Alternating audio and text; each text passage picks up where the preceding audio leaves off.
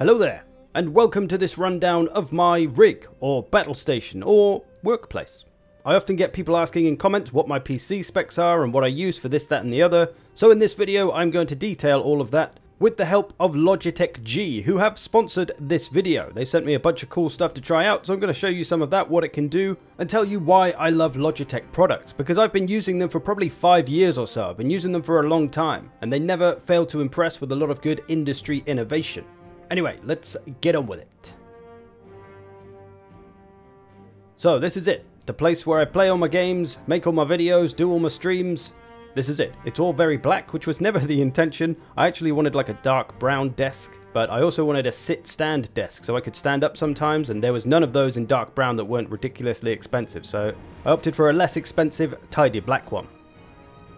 Okay, let's start off with the all-important keyboard. I'm using the Logitech G915. This is a wireless Lightspeed keyboard. Lightspeed is Logitech's wireless technology, which is just as fast as being wired. It's pretty awesome. It's low profile mechanical switches, it's nice and thin, it's got brushed metal finish on it, it looks really nice.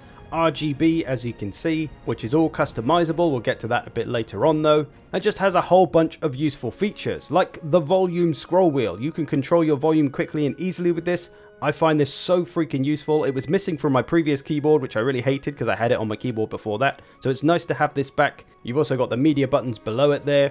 And at the other end of the keyboard on the far left you've got the 5G keys. These are basically extra customizable buttons, you can assign them to whatever you want, super handy to have next to your WASD hand, and you've also got three profiles for them, you can see the buttons I was pushing at the top, so it's basically like you have 15 extra keys next to your WASD hand. You've also got macro record so you can quickly make macros and assign them to one of those keys in a pinch.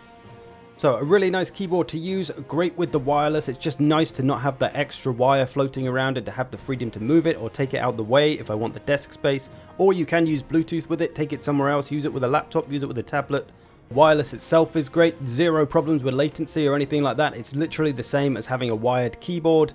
And you may think that battery life might be a problem with a wireless keyboard that has RGB, but oh no, it can last a good old while. I charge it maybe once every two weeks, probably. I don't have any crazy RGB though. If you use big bright RGB all the time, then that does suck the battery life. But for the most part, it lasts really well.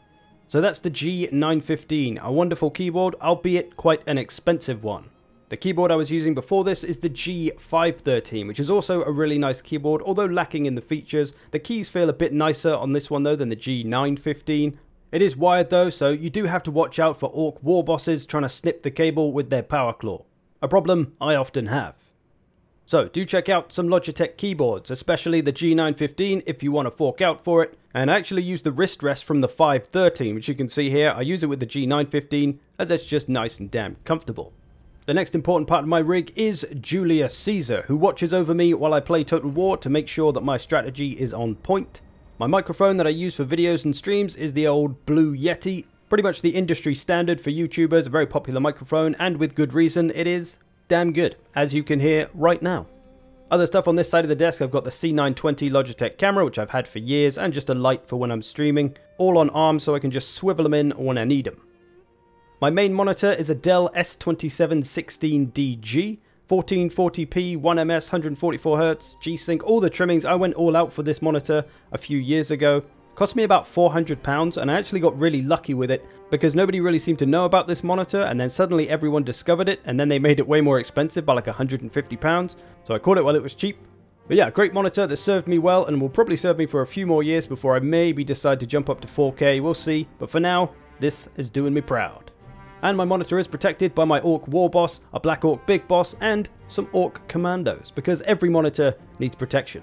And no, I didn't paint them.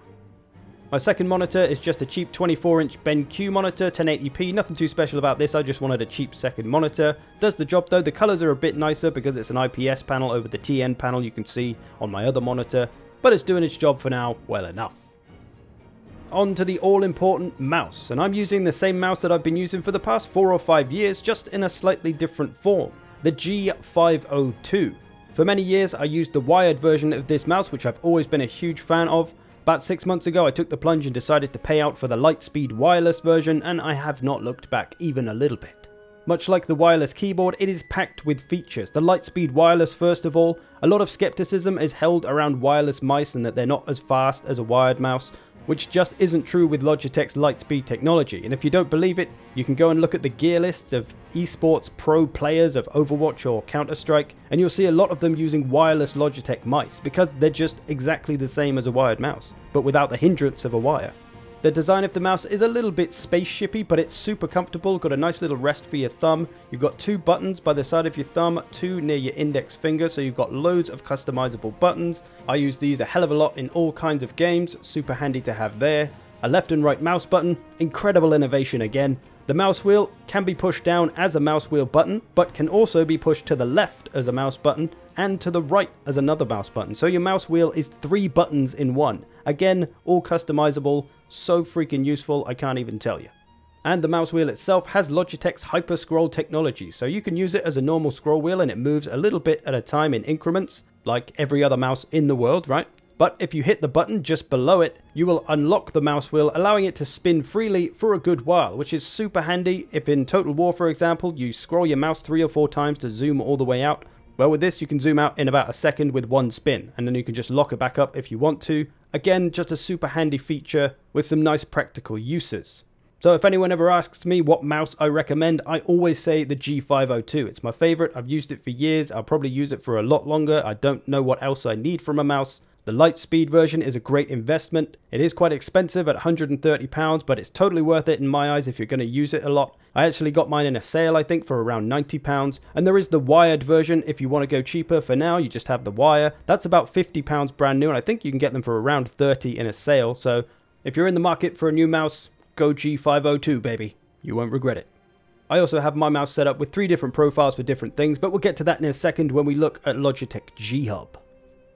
Logitech also kindly sent me the G903, which is actually very similar to the 502. I wanted to try this mouse out because it has buttons on the other side of the mouse. And I always think, well, I've got two fingers on the right side of my mouse, not really doing anything. It would be good to try and use them at something. So I wanted to try this mouse out, but I found I actually still prefer the G502. But if you're a lefty, this mouse is better for you because the G502 is only right-handed, I believe whereas the G903 can be left or right-handed. It has pretty much all the same features, except the mouse buttons on the sides can be removed if you want to, so if you only want to have two on one side, you can do that. It has the Lightspeed technology, wireless again. It's got the awesome mouse wheel, which is three buttons in one, and has the Hyper Scroll feature. You've also got a couple of DPI shift buttons, which are all customizable to something else if you prefer, or to change your profiles. Again, just a mouse packed with features ambidextrous if you're a lefty, and I think it's a little bit cheaper than a G502 for the wireless version as well, so could be good there if you're looking to save a little bit of money.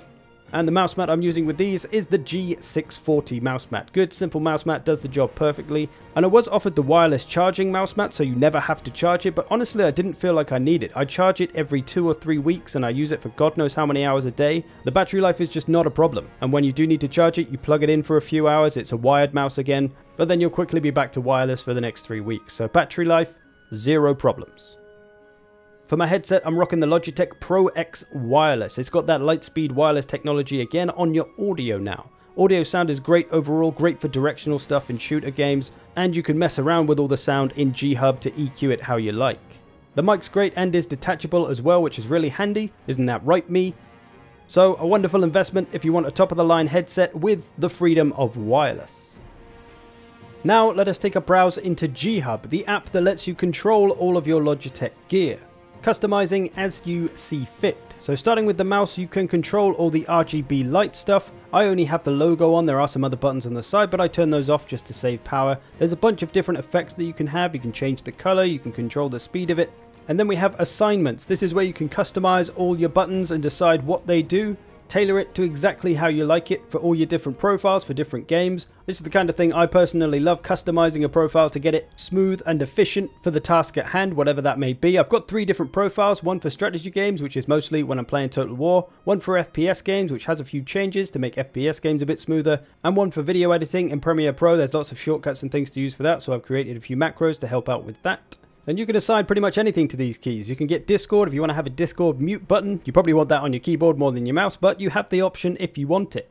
A few macros there, good if I need to push two keys at the same time, I can do it with one instead. So yeah, unlimited options for your 11 customizable buttons. And then you've got sensitivity for all your DPI needs. I mostly use 3500 as my base sensitivity. If I'm playing a shooter game or I'm trying to make a finer movement in editing, I'll drop down to 800 and that just makes the mouse move a little bit less, helping finer movements. And you can have separate ones for separate profiles, as I do, and more speeds if you want to. You could have 5 different DPI settings, and you can go all the way up to 16,000 DPI, which is super high sensitivity, but the option's there with the fancy Hero sensor. You can set it up how you like, and you can have a button on the mouse as well for cycling through your DPI speeds, as I do, or you could have an up and down button for your DPI instead.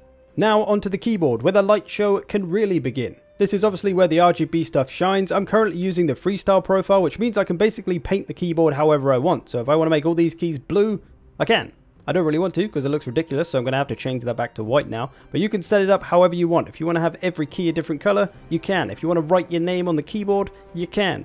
I've just got a fairly simple setup of all white keys with a few accented with green, as you can see. There are a lot of fancy presets though, such as the old color wave, as you saw earlier, if you're into the rainbowy effects, there's a whole bunch of different ones. Breathing, where the keyboard will look like it's kind of breathing color. A nice effect, you can of course change that color and the rate at which it pulses.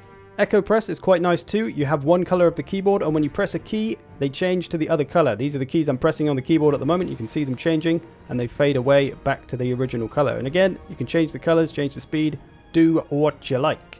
And then there's a few more fancy ones like Screen Sampler. So this is interesting. It takes the light from your screen, whatever is on your screen at the time. In my case, it's a lot of black. It'll take the colors from the screen and apply them over the keyboard.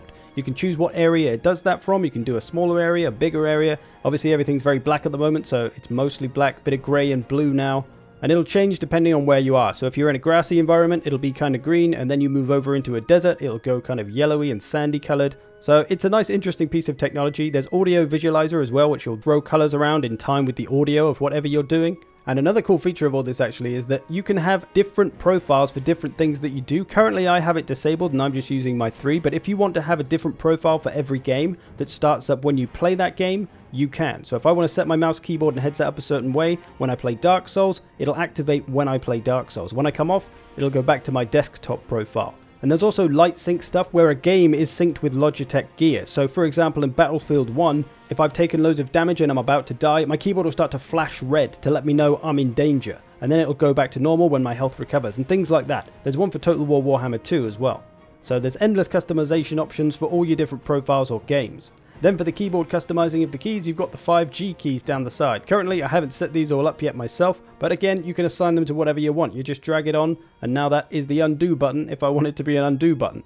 So again, I could have one for strategy games, one for FPS games, one for video editing, just to make things a little bit quicker, and I've got them right next to my WASD nice and quick. And again, you've got three profiles for each of those as well. You also have the game mode button, which when you press it will turn off the Windows keys, which if you accidentally press them in a game, as you know, will bring up your Windows menu, which can be very annoying. And again, you can customize it to turn off whichever keys you do or don't want. So again, as I keep saying, endless amounts of customization to set it up however the hell you like. There's just so many options in here that there's really whatever you want. I still have a lot of stuff left to set up, but what I have done so far is still incredibly useful. On to the Pro X headset then, with all the sound options, a nerd could probably want. You can get proper into the advanced EQ stuff if you want to, if you know your sound design. There's a whole bunch of preset profiles in there as well. You've got the surround sound, which you can mess around with. You can change the volume. If you want the sounds behind you to be a bit louder, you can. You've got different profiles for different things here as well. Just so many options with the sound. Honestly, a lot of things I still haven't even messed with yet, so lots to explore. And then you've got the microphone, which is made with Blue Voice, the same company that makes my Blue Yeti and all of the great microphones. Logitech owns them now, so Blue Voice is on the microphone. You can mess with this. Again, loads of presets. You can listen to it back, make sure you get it all right. And with all of this stuff as well, there is profiles made by people. So if you've got a favorite person and they happen to have made a Logitech profile, you can get the setup that they use. Hey, maybe I'll make one for Total War then you can download it, get a stick-on beard if you don't already have one. Then just talk in an English accent, then just bang on about, ooh, stats and stuff, melee attack, oh, of course, of course. And then you'll just be me. Brilliant. I'll get that done. So that's Logitech G Hub that you can download for free when you have any Logitech gear. You can get it at any time. You don't even have to have Logitech gear, but it won't be much use without Logitech gear. So purchase some gear first and then download G Hub and then you can unlock the true potential power of your weapon of choice. Now to my war machine itself. My case first of all is a Fractal Meshify C. It's a nice simple case. I'm not a big fan of spaceship design PC cases myself, so this has perfect looks for me. Does have a kind of stylish angled front plate though, which you can't really see from my footage here, but it's pretty tidy. It's a nice wide case as well, I don't really have to worry about if anything's going to fit or not. It's got great ventilation, vents all over the gaff on it, it's just a wonderful case. It does have one glass side on it, which I'm not too fussed about. I'm not going to show you the inside because honestly, it's not that exciting. I don't really mess around with RGB, I'm not really interested in the looks of the inside of my PC, so it probably looks like the inside of most people's PC. Hardware wise though, I've got a Ryzen 3900X which I've only had for a few months. Before that I had an i7 7700K, so most of my videos that you've watched are probably on the 7700, but anything you've watched recently or in the future is on the 3900X. The Ryzen is just better for multitasking, which is good for me, for video editing, for streaming. I found big improvements to both those things since upgrading. My motherboard is an MSI X470 Gaming Plus Max. Pretty simple motherboard, nothing too fancy to be honest. I just wanted something that wasn't too expensive and did the job. Has a nice amount of USB ports, which is handy. And for my cooler, I've got a Dark Rock Pro 4. For my RAM, I've got 32 gigabytes of Corsair 3200 Hz, and my graphics card is an MSI 1080 Ti Gaming X. Although I am looking to upgrade soon to the new 3080. It's all powered by an EVGA 650 watt Platinum PSU, although I'm going to have to upgrade that for the 3080 anyway. I think that's about it for the exciting stuff in there. A couple of SSDs and M.2, yada yada. My chair, honestly, is just a quite simple ergonomic office chair, nothing too fancy. Not a big fan of the idea of gaming chairs. A lot of them have very flat backs, which definitely isn't good for your back. So don't buy into the whole gaming chair nonsense. Get an ergonomic chair. Although don't buy this one because the back of it is quite short and my shoulders do hang over it, but it's fine. Definitely in need of an upgrade at some point though. So there it is, my battle rig in all of its glory. Thanks to Logitech for sponsoring this video and affording me some sweet goods to show you good people. If you're interested in checking out any of this stuff, I'll put links in the description to various Amazons in different countries. And of course, you can check it out all on Logitech G's website, which will also be linked. I hope you've enjoyed this. Thanks for watching. I will see you in the future.